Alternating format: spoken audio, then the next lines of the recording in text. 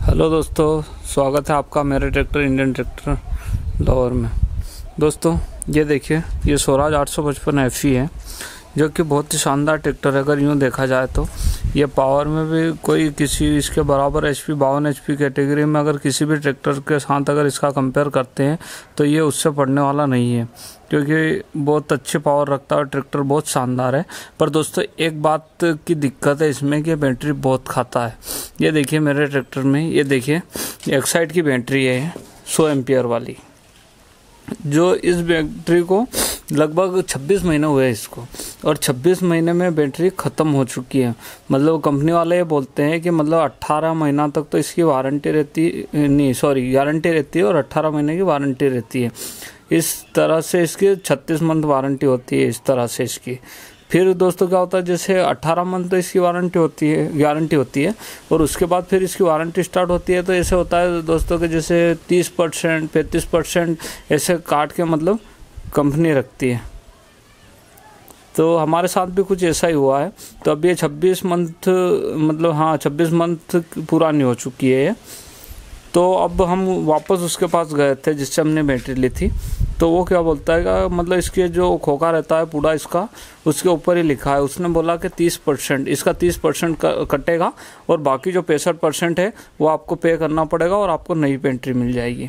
इस तरह से वैसे दोस्तों ये बैटरी तो हमें लगभग एक साल भी ठीक से नहीं चली है। बरसात के टाइम में ट्रैक्टर ठीक से स्टार्ट नहीं हो रहा था। लेकिन हमने जैसे तैसे हम इसको चलाते गए और हमने जानबूझ के इसको एक्सपायर कर लिया मतलब इस, ये वारंटी से इसको बाहर कर दिया, हमारी गलती की वजह से। तो अब ये ट्रैक्टर वैसे तो बहुत अच्छा है, पर ये बहुत बैटरी खाता है दोस्तों। अब ये बैटरी, इसके पहले की जो बैटरी थी हमारी, वो उस बैटरी से स्टार्ट नहीं हो रहा था, वो भी एक साइड की बैटरी थी। तो वो बैटरी हमने निकाल के, ये देखो, ये मेरा आइसर है 312 ये इसके अंदर वो बैटरी डली हुई है। तो वो बैटरी आज भी मतलब इसकी उतरी हुई बैटरी जो पुरानी थी, वो आज भी चल रही थी। उस बैटरी से आठ सौ पचपन स्टार्ट नहीं हो रहा था, लेकिन ये आइसर आज भी बढ़िया उस बैटरी से चल रहा है। और उसके बाद जैसे ही हमने इसमें से वो बैटरी निकाली तो बैटरी आइसर में डाली तो आइसर बढ़िया चल रहा है और ये नई बैटरी है, ये ख़त्म हो चुकी है। अब वो उसने तो बोल दिया कि अब हमारी कोई जवाबदारी नहीं है। तो अब हमको मजबूरी में अब बैटरी नहीं लेना ही पड़ेगा। जो कि कुछ 6700 की एक्साइट की 100 एम्पियर की बैटरी की कीमत बता रहा था वो।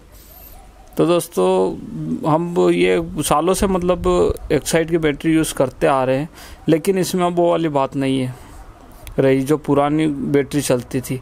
अब ये ट्रैक्टर यार पता नहीं, अब जैसे हम पहले उसके पास गए तो उसने बोला कि इसका सेल्फ की सर्विसिंग कराओ तो बूझ वूझ सब इसके बदलवा दिए। उसके बाद भी मतलब मज़े नहीं आए।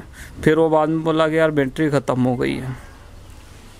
बाकी सब अच्छा है, पर पता नहीं क्यों मतलब बैटरी बहुत ज़्यादा खाता है। यार बहुत बड़ी प्रॉब्लम है।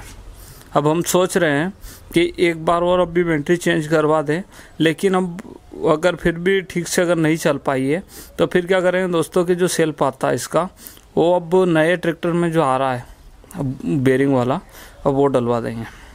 दोस्तों, वीडियो अगर अच्छा लगे, चैनल को सब्सक्राइब कर देना, वीडियो को लाइक शेयर कर देना।